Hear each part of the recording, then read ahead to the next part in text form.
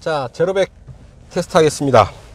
이 차의 공차 중량 1430kg입니다. 190마력이고요. 그래서 마, 어, 마력당 무게비 계산해 보면 약 7.52kg이 나오죠. 그러면 약 8초 전후에 제로백 타임 기대할 수 있지 않을까 싶은데요.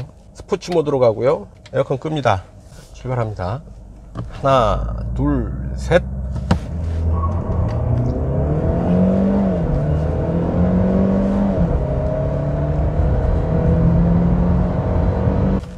출발해서 초기에 약간 지체하는 현상이 느껴지고요. 이후에 꾸준하게 힘을 모아서 가속을 이어가고 있습니다. 하나, 둘, 셋. 휠스핀이 좀 일어나고 있죠.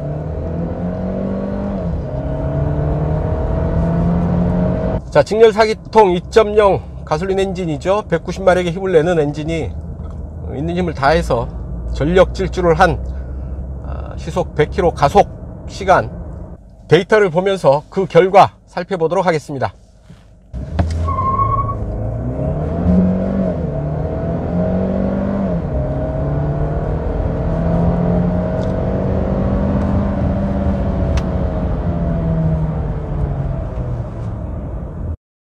네, 데이터 보시겠습니다.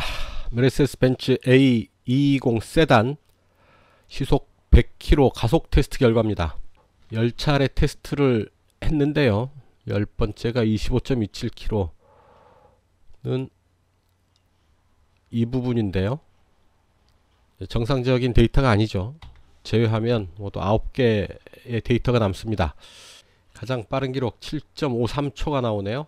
그리고 가장 느린 기록은 7.87초, 0.3초 정도의 차이면 모든 테스트가 상당히 비슷한 결과값을 보이면서 유효한 어, 테스트를 진행했다라고 볼 수가 있을 듯 합니다. 자, 주행 거리 보시면 107.84m가 가장 짧고요. 그리고 122.96m가 가장 깁니다. 여기서 의미 있는 것은 시간과 거리가 일치하지 않는다라는 사실인데요. 보시면 두 번째가 가장 빠른 시간이죠. 7.53초인데 거리는 108.56m로 그 밑에 107.84m가 있죠.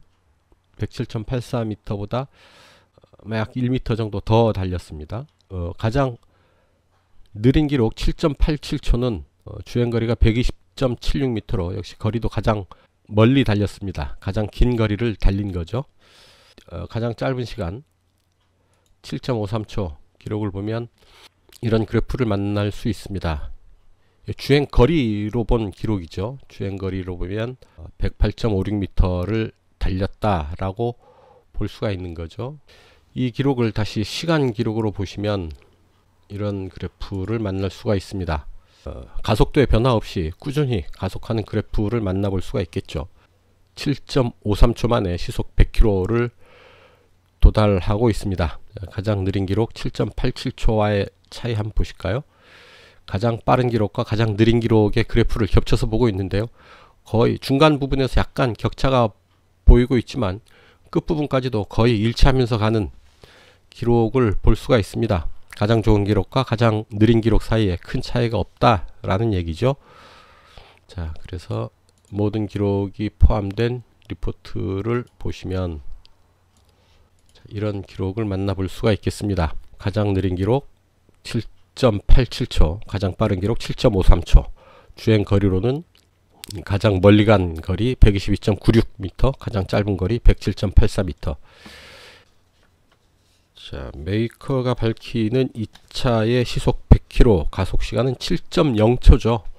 해치백이 6.9초였고요. 세단은 7.0초로 시속 100km 주파 시간을 밝히고 있습니다.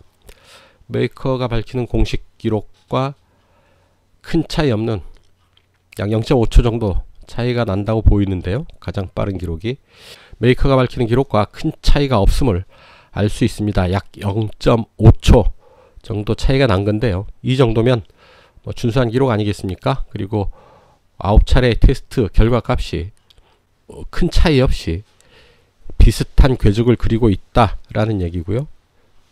1430kg의 공차 중량 그리고 190마력의 힘 계산해 보면 7.52kg 정도의 마력당 무게비가 나오는데요. 제로백 타임 가장 빠른 기록 7.53초가 여기에 딱 들어맞는 기록이 아닌가 싶습니다. 네, 지금까지 메르세데스 벤츠 A220 세단 제로백 가속 테스트 결과 살펴봤습니다.